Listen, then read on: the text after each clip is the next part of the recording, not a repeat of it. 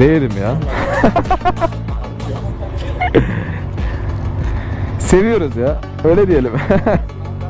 Ama benim ellerim terledi. Ben izleyerekten telledim.